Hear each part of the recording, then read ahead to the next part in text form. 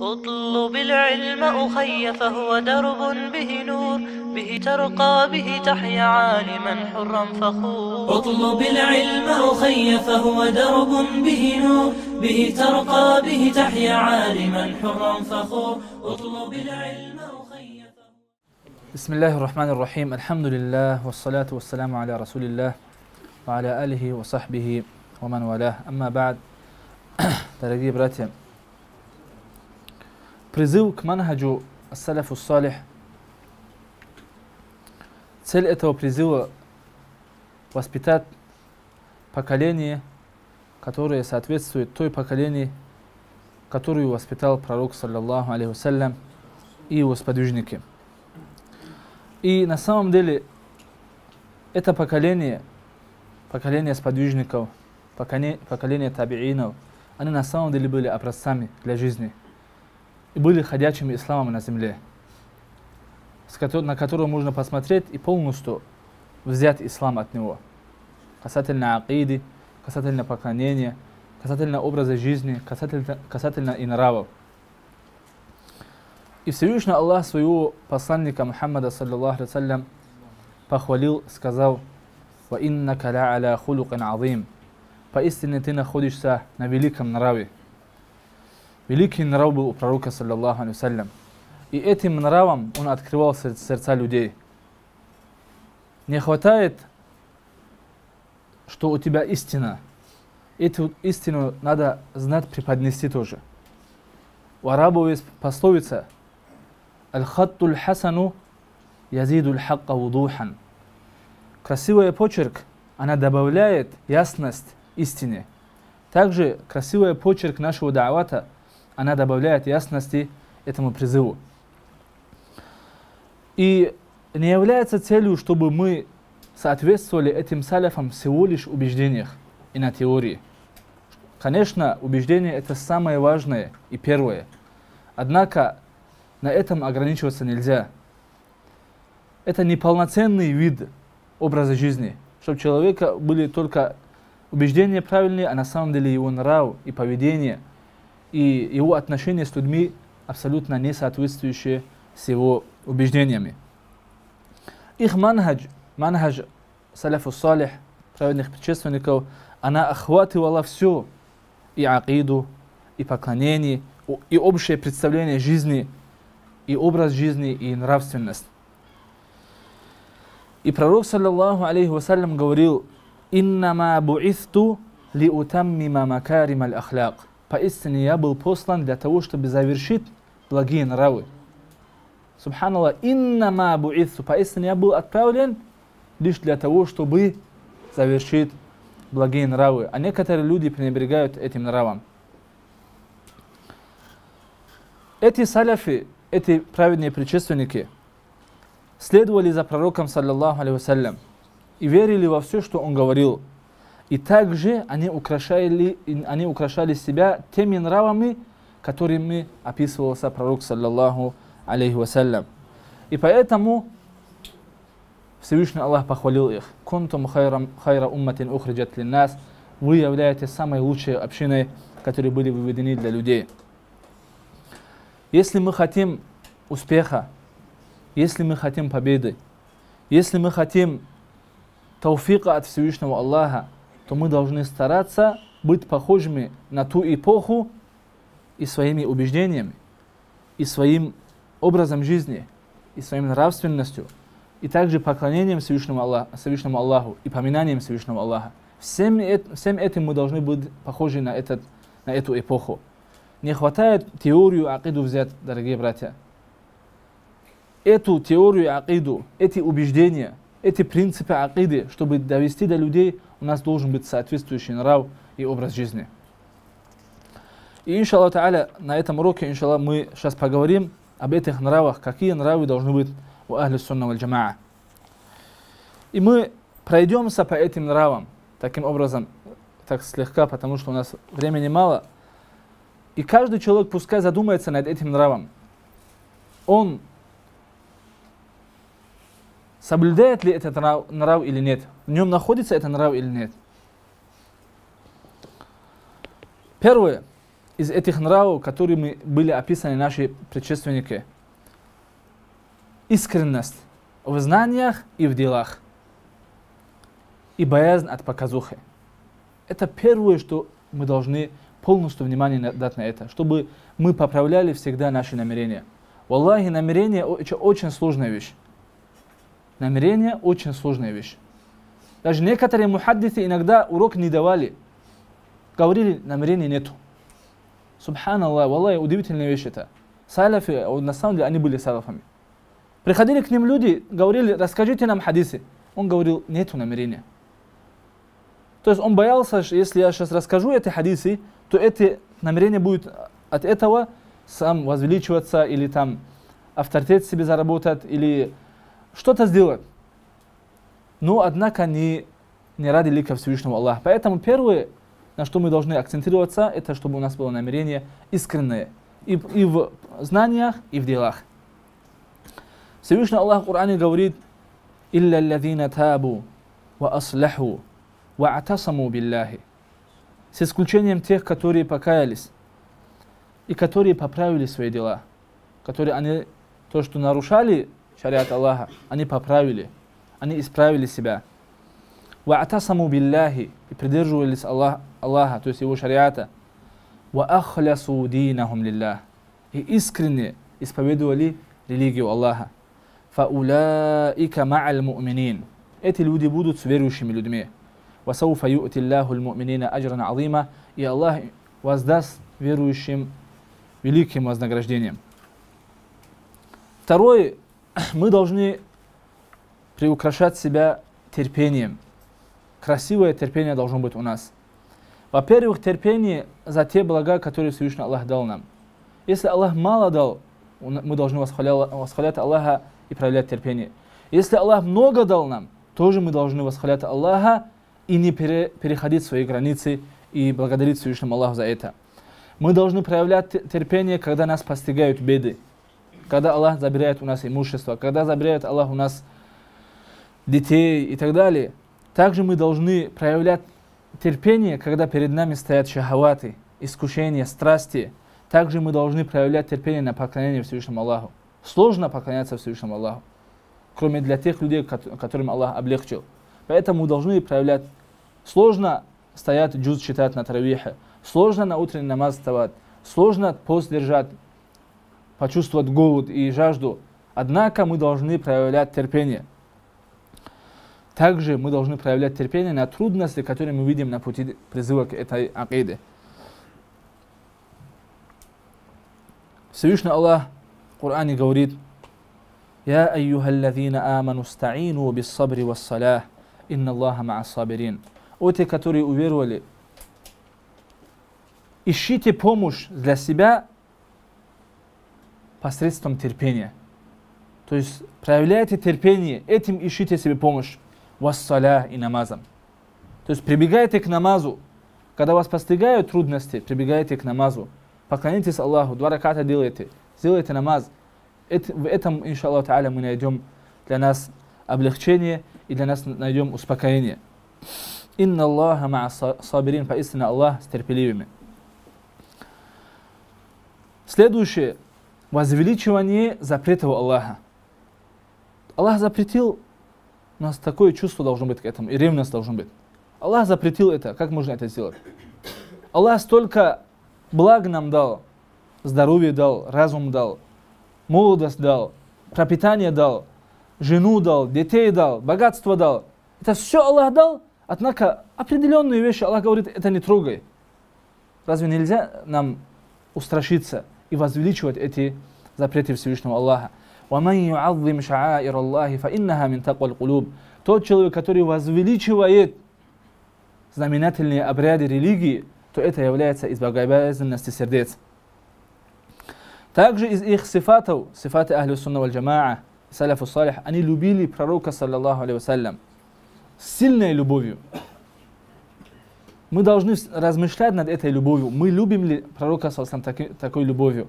Они любили, на самом деле, вот когда мы, как любим своих детей, своих родителей, и тогда свою жену, как любим? Больше, чем все это, они любили пророка, саллаллаху алейhi вассалям.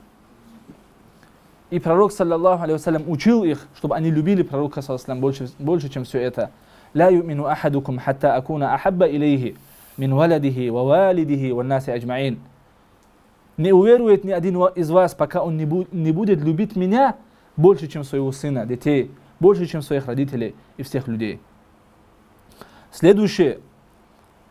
Они старались подальше держаться от лицемерия и от показухи. Любо, в любом деле, в намазе, в посте, в садака, в распространении знаний, в получении знаний, в любом деле они старались подальше держаться от показухи. И как мы сказали, показуха является малым ширком, аль. Также они старались следить за своими сердцами. Они становятся лишь черствыми, чтобы следить за их мягкость, чтобы они, эти сердца, боялись Всевышнего Аллаха. Однако, в наше время большинство из нас, наши сердца очень черствыми стали. Нету плача перед Аллахом, нету смягчения, когда поминают имя Всевышнего Аллаха, Аллаху Мустаан. Также они много думали о смерти. Когда смерть, когда кто-то умирал, когда перед ними несли джаназа, они много думали о смерти и начинали исправлять себя. И боялись за плохой конец. Следующее. Очень сильно старались, чтобы они не были высокомерными, чтобы они были кротыми, чтобы они были простыми, чтобы не возгордились на своих братьев. Это, Аллахи, ман тавада алиллахи рафаахуллах. Тот человек, который проявляет кратость ради Всевышнего Аллаха, он проявляет простоту ради Всевышнего Аллаха, Аллахи, Аллах поднимает этого человека. И тот человек, который проявляет высокомерность и гордость, Аллах унижает этого человека и снимает любовь сердец своих рабов к этому человеку. Также следующее, много делали таубу. Много делали таубу и просили у Аллаха прощения, потому что они знали, что они подвергаются грехам, так же, как мы, мы сто раз больше подвергаемся грехам. Вместе с тем, что распространено столько фитнес, столько грехов, столько фасада, столько, столько вещей, куда ни смотри харам. Поэтому мы всегда должны просить прощения у Аллаха и каяться к Аллаху. Также они следили за свою такуа, богобоязненность. И никто из них не спорил, что он богобоязненный. Они боялись за свою богобоязненность, что они являются лицемерами, что они являются грешниками. И всегда утончали этот вопрос. Сильно боялись от плохой кончины. Мы всегда должны просить у Аллаха, чтобы у нас была лучшая и хорошая кончина, что мы умерли на ля иляха иллаллах. Валя тамутунна илля ва антум муслимун. И не умирайте, кроме как будучи мусульманами. Дай Аллах, чтобы мы умерли, будучи мусульманами, и на правильной акиде, и на благом нраве. И они не радовались этой дуне. Наоборот, они огорчались этой дуне. Насколько она много, настолько она нас обольщает и искушает. Также они не украшали этот мир. Свой этот мир они не украшали. Они ограничивались самыми необходимыми вещами. А на самом деле мы украсили, украшаем свой, свой мир, это дунья, и поэтому мы боимся смерти, и поэтому мы боимся ахара. Один из халифов спрашивает, один из праведных предшественников, почему, говорит, мы боимся так сильно смерти и так сильно любим дунья, говорит. Он ему говорит, потому что вы, говорит, приукрасили этот мир и оставили ахира, чтобы она разрушилась, как развалину. Кто же любит, говорит, оставить красивые дворцы и пойти жить в развалинах? Кто-нибудь любит такое? То есть из дворцов прекрасных перейти и жить в развалинах никто не любит. Поэтому мы должны ахира свою приукрашать, строить ее, чтобы нам легче было из этих развалин туда прекрасные дворцы ахрата, чтобы зайти.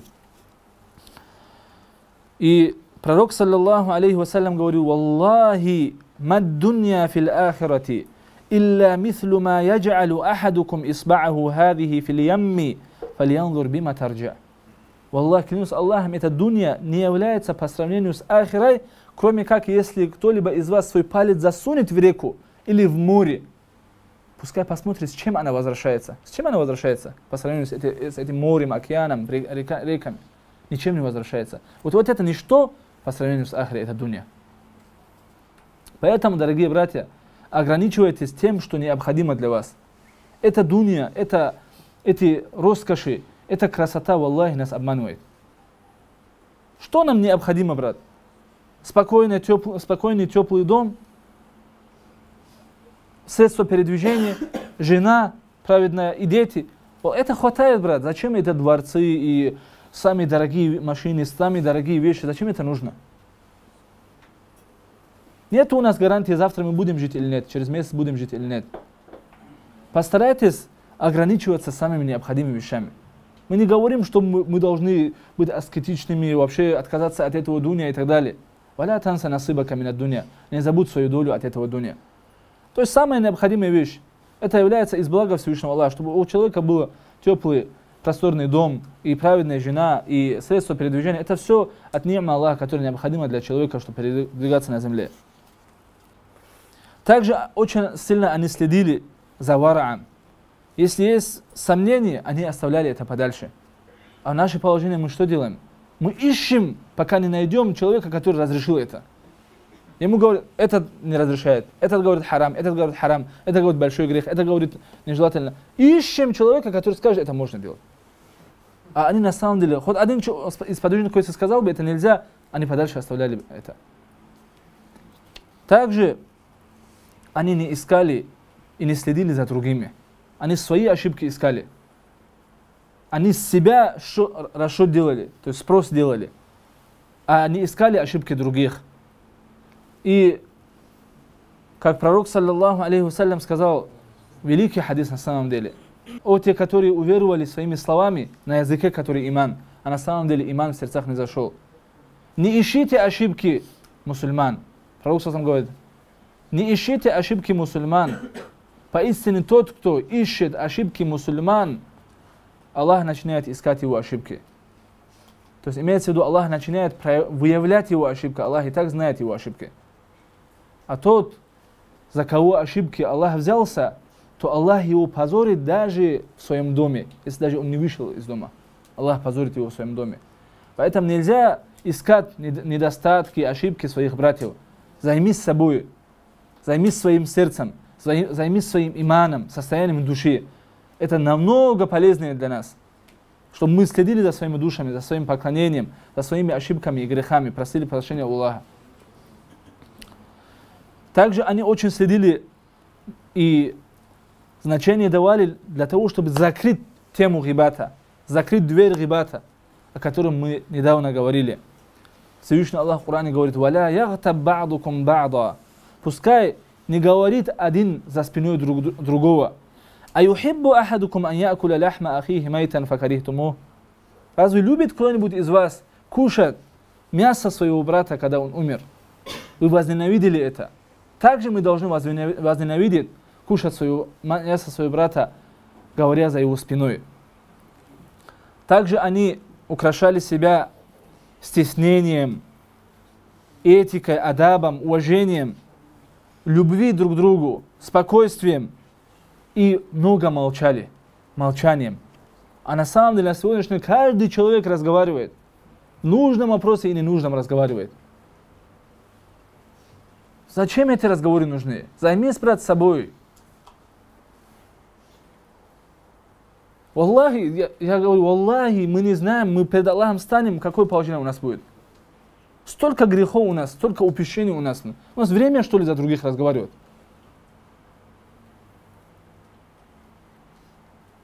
Вспоминайте смерть, вспоминайте ахира. Аллаха не будет у вас время о другом говорить. За других братьев говорить тоже не будет время. Каждый будет свои ошибки искать и исправлять себя. Пускай говорит благое или молчит. Зачем говорит плохое? Манкана ю'мину билляхи ва Если ты веришь в Аллаха, ты же говоришь, что я верю в Аллаха. Мы же говорим, что мы верим в Аллаха, судный день, любим пророка. Пускай говорит благое или молчит. Ты благое говоришь, когда за, друг, за своего брата говоришь? Аллахе не говоришь благое. Это мерзкое то, что ты говоришь. Поэтому лучше молчать. Если хак не можешь говорить, пускай молчит человек. Также они описывались тем, что они прощали друг другу. А мы, если человек ошибся, все, на него икси ставим. Они прощали друг друга. Они глаза закрывали на ошибки друг друга. Они искали их. И когда человек ошибался по отношению к ним, они сабру проявляли. Они отвечали добром. وَالْكَاظِمِينَ الْغَيْظَ وَالْعَافِينَ عَنِ النَّاسِ وَاللَّهُ يُحِبُّ الْمُحْسِنِينَ Они глотали свою гнев, свой гнев глотали они и прощали людей. Поистине Аллах любит творящих добро. Глотали, хотя им сложно было глотать. Пророк, саллаллаху алейхи вассалям, говорит,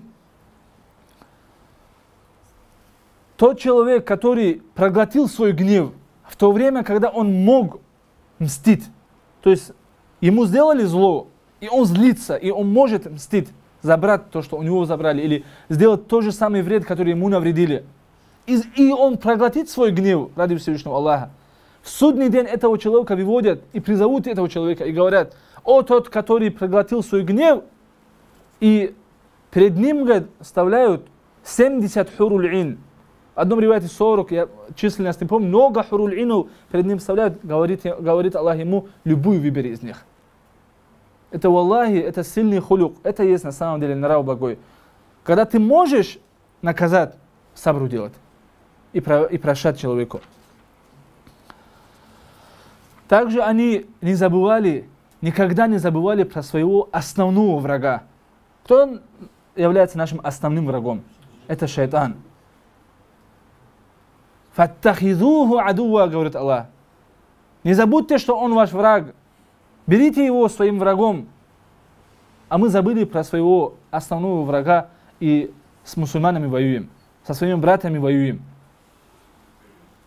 Также они в своем поклонении подальше держались от, васов, от васвасов. Шайтан нас васвасит, намазы приходят, может ты омовение не сделал, может ты ногу не помыл, может ты э, забыл не делать, может ты Аллаху Акбар забыл и так далее. Это шайтан делает для того, чтобы нам сложно было поклоняться Всевышнему Аллаху мы, не, на, мы должны не обращать внимания на шайтана и его освасы. Также эти саляфи спрашивали про своих братьев. Как наш брат, почему он не пришел? Как у него здоровье, как у него положение? Может, у него проблемы дома, поэтому он не появляется и так далее. Если мы знакомы с друг другом, если мы любим друг друга, мы должны спрашивать друг, друг о друге. Также много садака делали. Милостью давали много. То, что у них сверх того, что им для них необходимо и нужно, они раздавали садака. Много садака делали. И это тоже мы должны не забывать, особенно месяц Рамадан. Месяц Рамадан, когда ты даешь лир, она умножается на 700. И еще больше Всевышний Аллах умножает его. Аллаху алям, Аллах насколько раз это умножит. Поэтому постарайтесь больше садака делать. Если у тебя есть, дай тому, кто нету. Если у тебя есть, помоги религии Аллаха участвуй в проектах, которые распространяют религию Аллаха на земле. Также они подальше держались от исрафа. Они просто так деньги не тратили на ненужные вещи, бесполезные вещи. Также они не были жадными, скупыми не были они. У них сердца были открытыми и широкими, и они давали садака. И они приучали своих детей, чтобы они давали садака. А на самом деле наш народ, кавказцы очень далекие от садака. Они не знают, что такое садака. Аллахи, даже до сих пор есть у арабу адат. На, на джум'a идут, деньги будут у них в кармане. Обязательно. Хоть 5 долларов, хоть 10 долларов, хоть доллар. У них деньги будут именно на джум'a, когда идут. Даже берут своих детей с собой, когда видят, что для чего-то собирают деньги, там кто-то стоит, там просит деньги, дают этим детям в руки, чтобы они дали. Приучают к садака, с детства мы тоже должны приучаться к этому, к этому нраву. Они уважали своего гостя. И всем, что у него есть, они обслуживали своего гостя и уважали его. И после того, как он все сделал, все равно недовольны бывали они над собой, что они не дали должное право своему гостю. «Ман кана ю'мину биллахи вал яумил ахири фалюкрим дайфа». Тот, кто верит в Аллаха и в судный день, пускай уважает своего гостя. Также, когда их зовут в гости, они отвечали на призыв. Не возгордились, не говорили, как будто ему нельзя к другим пойти. Или там... То есть они, когда их зовут в гости, они шли. Кроме некоторые исключения есть, когда именно богатых исключают, их зовут, а бедных забывают. Или если в том месте, куда его зовут, там находится харам, и он не может это изменить. В таких случаях нельзя пойти в гости. Также они проявляли милость к, к младшим, к детям. Это тоже не, нельзя пренебрегать этому. Эти дети наши будущее. Мы должны проявлять к ним милость свою. Пророк, саллиллаху алейhi сказал, «Маллям юваккир кабирана, валям ярхам сагирана, фаляйса минна». И в другом хадисе есть, «Маллям юаззим кабирана, «Ваярхам сагирана, ваюваккир алимана».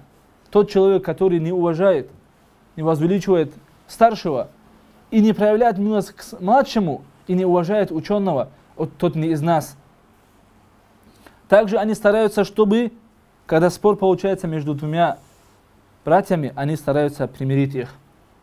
Всевышний Аллах в Коране говорит, «Ла хайра фи кафирим мин наджвахум». Нету добра во многих их разговорах. Илля ман амара би садакатин. Кроме того, кто повелевает делать добро. Делать добро, э, делать, делать милостину. То есть нету пользы от ваших разговоров. Много разговариваем, сидим за чаями, болтаем и так далее. Нету добра в этих разговорах. Кроме того, кто повелевает делать садака. Или делать добро. Ау амара би илля ман амара би маруфин ау садакатин, ау ислахин байнан нас. Или что примеряли между братьев, между людей, что мир сделать. Эти три вещи, которые в разговорах есть благо. Или он повелевает делать садака, или одобряемому, или он примеряет людей. Это есть очень много блага. Также они порицали зависть. Аллахи, опасная вещь. Зависть очень опасная вещь. Почему? Потому что зависть порождает вражду. Если ты завидуешь одному брату, ты начинаешь с ним враждовать. Сначала бывает соревнование, если ты не смог с ним соревноваться, он не, тебе не соперник, он опережает тебя, ты начинаешь враждовать с этим человеком. И это порождает слабость имана. И завистник, этот человек не верит в предопределение Всевышнего Аллаха. Аллах дал тебе вот столько, а тому дал много. Это по предопределению Всевышнего Аллаха. Если он поверил бы в предопределение, то он знал бы, что нету пользы в зависти. Всевышний Аллах в Коране говорит, «Ю'ти хикмата ман яшау, ва ман ю'та хикмата факад утия хайран кафира». Аллах дает хикма, мудрость, знание, кому он хочет. А тот, кому Аллах дал знание и мудрость, тому Аллах дал много блага. Так, также Всевышний Аллах в Коране говорит, وَيَرْزُقُ مَنْ يَشَاءُ بِغَيْرِ حِسَابٍ Аллах дает пропитание, кому Он захочет, без расчета. Кому Он захочет. Аллах Мухаммаду хотел богатство, Аллах дал ему. Ахмаду не хотел богатства. Не надо Ахмаду завидовать своему брату Мухаммаду из-за того, что Аллах ему дал много. Это Аллах предписал столько ризка ему, а тебе не предписал. Из-за того, что ты завидуешь ему, ты богатым не станешь. И знающим не станешь. И это наоборот, твой иман тоже ослабляет также порождает вражду мусульман между друг другом. Также наши саляфи большое значение давали благочестие к родителям. Они всегда искали довольствие родителей своих. И старались что, сделать все, что в их силах, для того, чтобы родители были довольными. Всевышний Аллах в Коране говорит, «Вакада раббука алла та'буду илля ияху, вабилвалидайни ихсана». Аллах предписал, чтобы вы не поклонялись, кроме Аллаху, никому, и чтобы вы обращались к своим родителям добрым образом. Аллах связал таухид. Аллах связал таухид с чем? С благочестием к родителям. Аллах, это очень важно. Без довольствия родителей, без их благословения у нас никогда не будет успеха. Как может быть у человека успех, когда его родители проклинают его, недовольны им? Никогда не будет у этого человека успех. Если вы находитесь вдалеке от своих родителей, позвоните к своим родителям, поговорите с ними. Если что-то можете отправить им подарок или помощь, это тоже отправляйте. Не забудьте своих родителей. Мы завещали человеку, чтобы он относился к своим родителям хорошим образом, добрым образом. Хамалатху уммуху курхам вадаатху курха. Его мать его настила с трудностью, с тяжестью и родила его с тяжестью. Также, дорогие братья, мы не должны забывать своих э, соседей. Мы должны относиться к ним доб, доб, доб, добрым образом. Мы должны искать его положение, спросить его положение, если у него плохое положение, помогать ему. Пророк, саллиллаху алейхи сказал, не уверует тот, кто спал сытым, а его сосед спит голодным. Также эти саляфы запрещали гордость и высокомерие, и самолюбие. Это самый опасный грех, самолюбие, самодовольствие. Всегда мы должны быть самокритичными, мы должны критиковать себя. Если мы будем самодовольными, мы останемся на этом же уровне. Даже этот уровень, который мы достигли, мы сами разрушим ее. Всегда мы должны критиковать себя. Мы, мы должны быть всегда недовольными собой. И всегда стараться исправлять себя. Также они никогда не, пренебрег, не пренебрегали э, благим делам, какие бы они маленькими не являлись. То есть, какая бы мал, маленькая не была бы она, все равно не пренебрегали, старались это тоже делать. Да, пророк, саллаллаху алейhi что говорит? «Ла тахкиранна мин аль ма'руфи шей'a». Не считай маленьким, не пренебрегай добру, даже что бы она ни было. «Валяу ан ахака биваджин талкин». Даже встретить своего брата с улыбкой. Это добро, это садака. Просто, когда ты видишь своего брата, ассаламу алейкум, дорогой брат, улыбаться в его лицо, Аллахе, это садака. И это смягчает, смягчает наши сердца по отношению друг к другу. Этот салам ты даешь, не надо хмурым лицом салам давать. Улыбайся и давай салам. Если даже у него было занну к тебе, какое-то неправильное предположение по отношению к тебе, уже это, это, этот лед начнет таять этим, этой улыбкой. Также запрещали плохо думать о мусульман. Плохое предположение. Су'удзан. Су'удзан, валай, вообще опасная вещь. Ибн Хаджар аль-Аскалани говорит, рахималлаху та'аля, су'удзан, плохое предположение о мусульман, это является из хронических болезней. Если человек отпустил рычаги своего нафса за этим су'удзанном, этот человек настолько заболеет этим су'удзанном и будет за каждым мусульманом плохо думать. Что бы мусульмане не делали, он говорит, а он, наверное, за это делал, он, наверное, поэтому делал, он, наверное, двойную игру играет, он, наверное, это делает. Всегда думать плохо о своих братьях. Когда человек начинает плохо думать о своих братьях, он начинает искать обоснование для своего предположения и начинает искать его недостатки и ошибки. А искать недостатки и ошибки своего брата – это из самых мерзких нравов человека – И последнее, они не злились ради своего нафса. Если кто-то ущемил твое право, это ответь ему благим. Аллах, этот человек твоим другом станет. Всевышний Аллах в Коране что говорит? «Идфа биллати хия ахсану, фаида аллади байнака ва байнаху адаватун кааннаху валиюн хамим». То есть, если тебе сделает кто-либо вред, зло, «Идфа биллати хия ахсан», Лучшим отвечай, говорит ему. Лучшим отвечай ему, и что станет? И тот человек, между тобой и ним было что? Вражда? Кем станет? Валиюн хамим. Самым любимым другом твоим станет, говорит.